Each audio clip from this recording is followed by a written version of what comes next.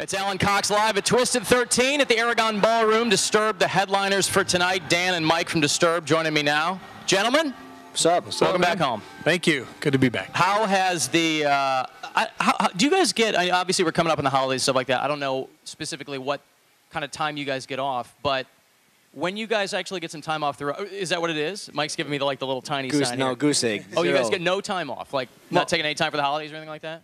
Yeah, well, uh, yeah. Actually, we're gonna we're gonna wrap it up in uh, next week finally. So we've been out. Uh, it'll be about a year and five months on this album. So uh, hitting the end of the road here, getting ready to start getting into writing mode and and uh, ready for the next album. You guys constantly bombarded though by people you know, like friends here and family here, going, asking me, asking you the exact same question I just asked you, like, when you coming home?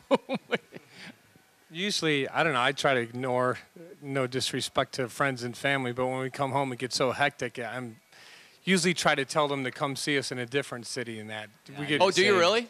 You, usually we get, we get bombarded by by everybody and, and not just uh, immediate family, but just you know kids you went to school with, kids you haven't seen in a while, old friends. Everybody's that- your even not even Yeah. if they weren't old friends, they are now. They're like your It just best seems pals. like everybody comes out of the woodwork. Yeah. It's like a, it's like a rule of thumb. You come to the hometown show, you turn your cell phone off. So yeah, it's just it's too hard to accommodate everybody because you don't want to leave certain people out. So we always say, you know, this is. I mean, we love playing for our hometown Sure, fans, yeah. but but for family and everybody else, we we we try to keep it to a minimum, and uh, you know, like I said.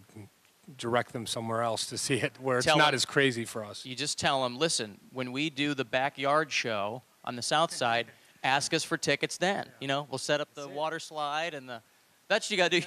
you know what I mean? You get one of those like giant inflatable bouncy things for the some of the kids. You know, Get a slip and slide out there. Get a slip and slide, get the wet banana down, and it's disturbed doing the wet banana. That's, uh, you know, feel free to take that idea, do with it what you will. Um, I, we were talking actually a couple days ago on the morning show about Dimebag, because it's been two years now, and um, obviously highly influential in music. And I think the perception of him even more so now that he's gone. Have you guys had any time to kind of? I mean, obviously you, you've thought about it, you know, since it's the second year anniversary. But I mean, how have you guys had time to process that in the time since then? Either artistically or personally. I mean, I I know it's been two years, but for, for me, it still it still seems very surreal. It's, Yeah. it's it's hard to believe that it. I mean, for that to happen to anybody, but but to Dimebag, us being able to get to become friends with him and, and know him on, on a little bit more of a personal level, it's still uh, hard to believe that it happened. I'm still waiting for him to walk in the door someday. Sure. Um, but uh, we, ironically, we happened to be in Dallas the the other night, the two-year anniversary night, uh, as well. So that was kind of uh, that was kind of a weird feeling, just being back in, in his hometown.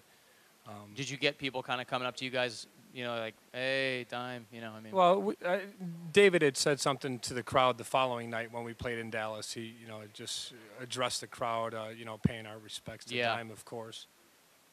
It's weird though. To re- I mean, when I thought about it, I couldn't believe it was two years. It's very strange Right. to think, and obviously Doesn't even more feel so. like it. It doesn't at all. No. Right. Yeah. Um, so when you guys do get some time off, I mean, is it literally you just kind of go to your separate corners, hunker down, and just don't do anything?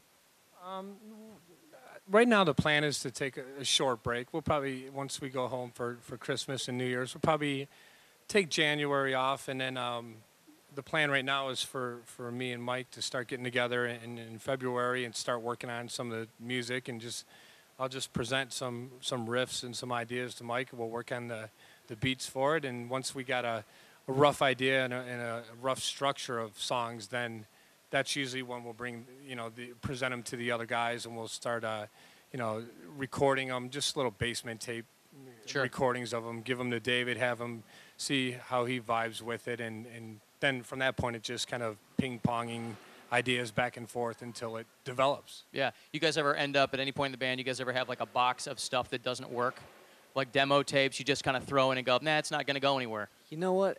Every I don't want to sound pompous here, but every riff that Here we go. Danny's coming up with, you know, all the good riffs Yeah. always have a way of resurfacing. If like it's a cool thing we've been working on, but for some reason at that moment we just weren't able to get it, you know, into a full song. It might like go in the drawer for a little bit, but it always rises to the surface. Yeah. I, I try to, I get, since uh, the songs usually start with the riff idea, Yeah. if like Mike said, if if we're not feeling it right off the bat, I'll always try to find a, a way to sneak it back in. You know, Ma- maybe it's not happening last album, but I'll find a way this album. See if uh, if they remember that Right, they've heard it somewhere before. Here's So- one from '97. Slip it right uh, in. Yeah. There's there's been a few where I've I've dug that deep before and uh, actually turned might have turned them into something, even if it's just parts here and there. But uh, and then you know either Mikey will notice it, or if they don't notice it, I'll I might bring it up and say, hey, remember.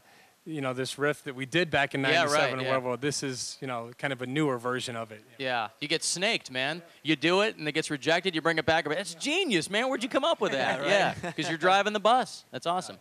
Uh, well, thank you guys. We're totally stoked to have you guys at Twisted 13. So thank you guys for playing. Thanks for Uh, having Dan us. and Mike from Disturbed. It's Alan Cox live at Twisted 13 at the Aragon Ballroom tonight. Disturbed your headliner, along with uh, Stone Sour and Flyleaf. We're live on Q101.